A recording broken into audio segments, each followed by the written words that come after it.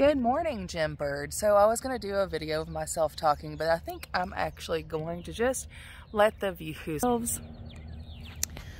This is part of what you're going to get if you choose me as your brand ambassador. I live in the hills of East Tennessee, so about 45 minutes from the Smoky Mountains. So I'd like to show everyone a little bit of a vista every day.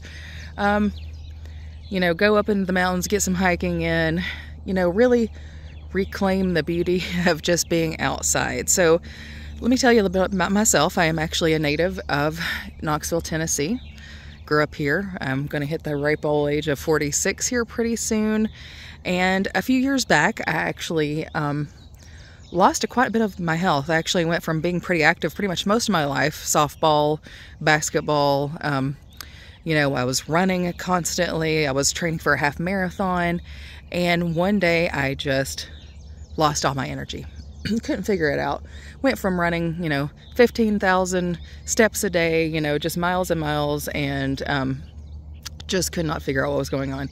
And I went from doctor to doctor for the last three years and finally just kind of figured out it was some vitamin levels needed a couple of surgeries actually but the thing is is i fought back i could not even walk my dog several several houses down for a while and i wasn't going to have it it was during 2020 gyms closed down everything was just a mess but the thing is you have to fight for yourself and I think that's why I would make a good ambassador because I'm willing to fight and I want to fight for other people.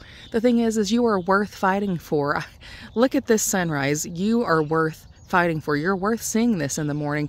Whatever your view may be, you're worth it. And I want to show these people that they're worth it. I want to show them that they can do it, even if it's just walking extra steps from your car or taking the stairs or taking an extra 10 minutes in the morning. You are so worth it. And I hope that you will choose me as your ambassador because I just want to show people how to fight again, but in such a good way. Take heart, people. You are loved you are lovely and you're worth it.